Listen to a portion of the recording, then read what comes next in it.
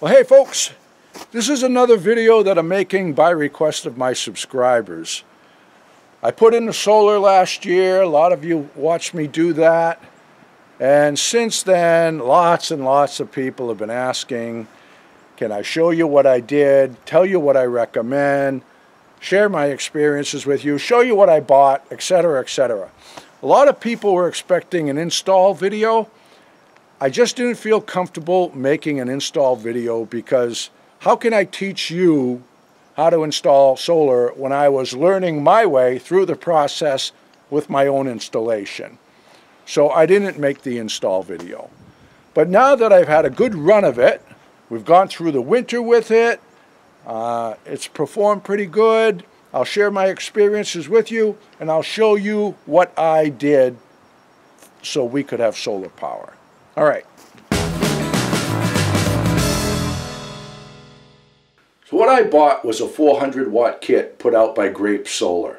I saw it online. It came with four 100 watt panels, the charge controller, the power inverter, and all of the cables needed to connect it together. So it looks simple enough. There was even a short video showing how to make the connections and I thought, well, I can do that and I ordered it up. But I'll admit, on the day that I was ready to do my installation, I was a little intimidated because I had no knowledge or experience whatsoever with solar power. But looking through the booklet, it was pretty simple. Everything's color-coded, hook to red to red, black to black, A to B, B to C kind of thing. Really simple. I put it together and never once did I feel confused or frustrated in any way. Actually, it went pretty slick.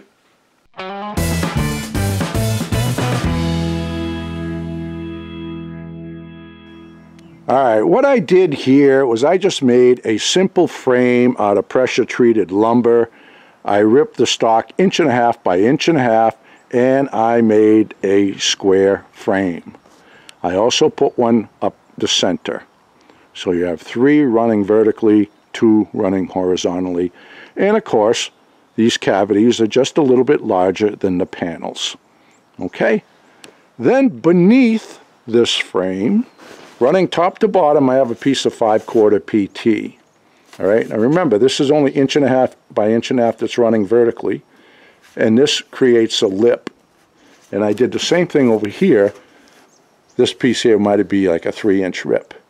And this is the, the butt end of that inch and a half by inch and a half, and this overlaps, or should I say underlaps, and it just gives the panel something to sit on. I didn't put a piece on the bottom because I didn't want any water that seeps in between the panel and the frame to get trapped in there and then freeze because it will expand and it might cause damage to my panels. And it really didn't need to be there. So having one up the edge on each side, one in the middle, was enough to hold the panels in place. And then on top of the frame, I just ripped a little piece of PT that overlaps the edge of the panels a little bit, and I put some screws in it. Very simple. Now, if I ever have a problem and I need to access the wiring by, behind the panels, I just pop those screws out, piece of wood comes off, and those panels will lift right out of there. Not a problem at all. It's very simple and very inexpensive. They sell all kinds of framework to hold the panels, but when I was looking at it online, it was really costly, and I've always got scraps of wood on hand. So I did this with scraps, and it didn't cost me diddly squat. Before I put them on the roof, I made an A-frame, and I had them down here on the ground, and that worked out just fine it was a good place for me to start because that way, if I had something wrong or I had to make adjustments to the wiring or make changes of any kind, they were right here on the ground. But because of our location, we're here in the woods, we're on the north side of the mountain, which is not a good location for solar power, but it's where we live. Um, having the panels on the ground got a lot less sun than having them on the roof. But now that they're on the roof, they're easy for me to access, just right here with a broom. I pull the snow off of them. If I need to work on the panels, I can access them from a ladder It's not hard at all. One question that people had was how did I mount these to the roof? All right, I didn't screw that whole panel tight to the roof. I have it up a couple inches as you can see. What I did was I just cut little pieces of pressure treated and I made some legs under there. I have two there, two in the middle, and two on the edge. And then I drilled down through the frame, through those legs, through the roof, and then there's carriage bolts that go down through, and the carriage bolts just come down through the roof, and they're mounted there with nuts and washers. When I mounted this to the roof, there were a lot of people asking me how I did that, and what process did I use to keep it from leaking. Because like I said, I drilled right through the frame, right through the roof, and mounted it with bolts. So I'll show you what I did.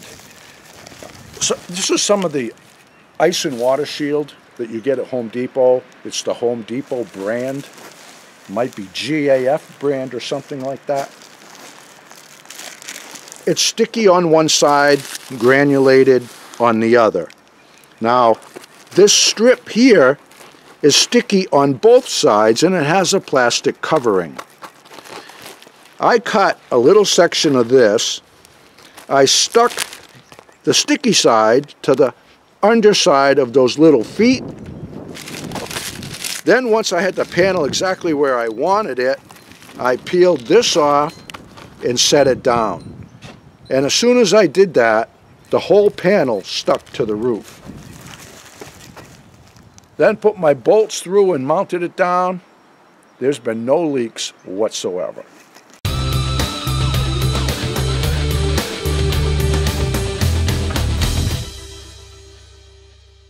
So after I had the rack mounted to the roof, I just popped the panels into it.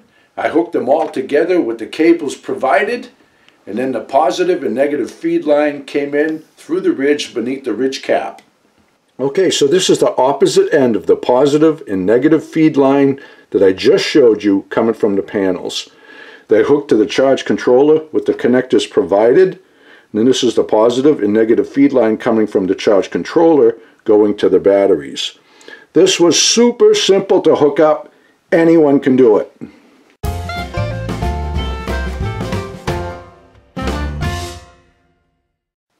Okay, so down here, what I have is four of the Renogy 200 amp hour batteries hooked together.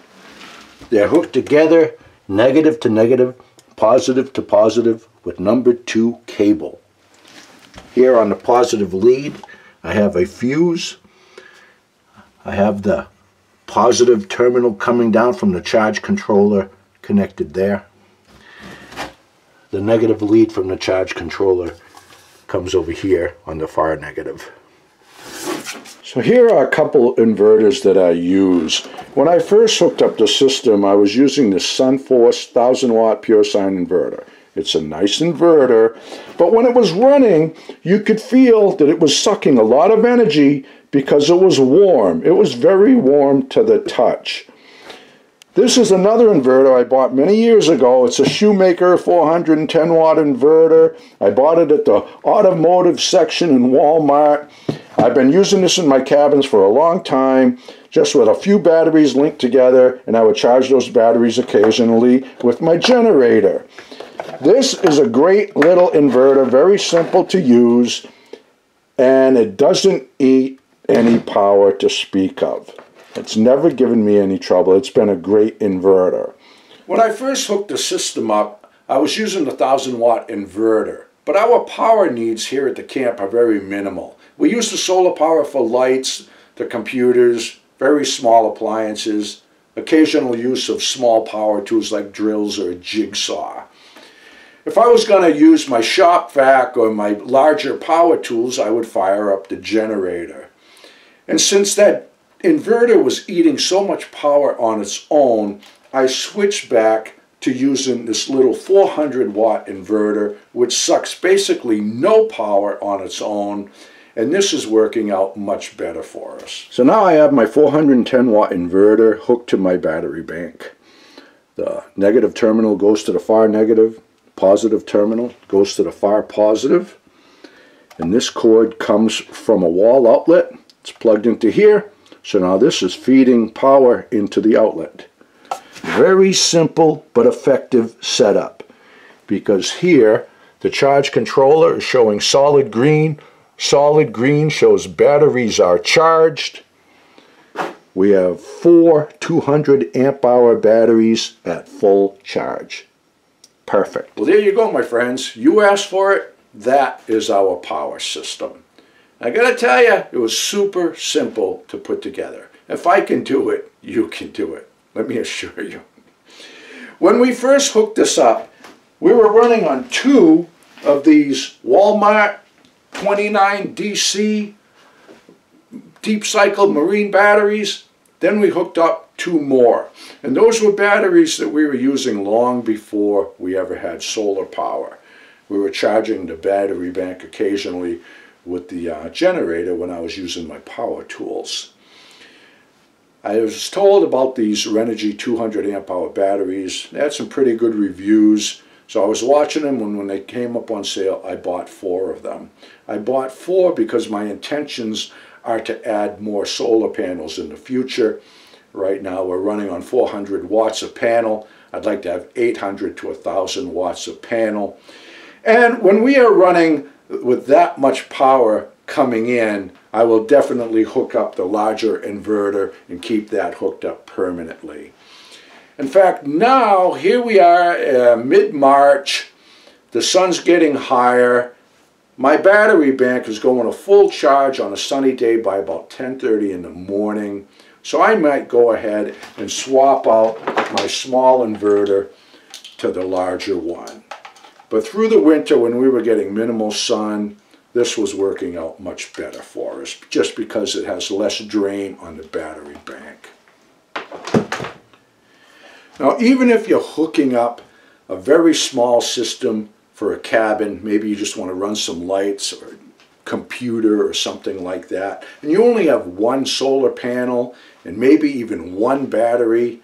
Regardless of the size of the system, the hookups that I just showed you will remain the same. Well, I hope this answers all the questions that you had. If not, look into that book. It's supposed to be packed with information, with instructions that are easy for a beginner to follow, and I will be buying it as well. I gotta tell you folks, hooking up solar power was a heck of a lot easier and less intimidating than I thought it would be. And I'm sure you will find that also. So that's it for now. I hope you enjoyed the video. All the best to you and God bless. Frankie and the boss out walking in the woods, living life happy and free. Tracks in the snow everywhere they go. There's a pokey way up in that tree. A beaver built a pond where they have some fun, taking life a day at a time. Best friends until the end. Frankie and the boss. Frankie and the boss. Frankie and the boss.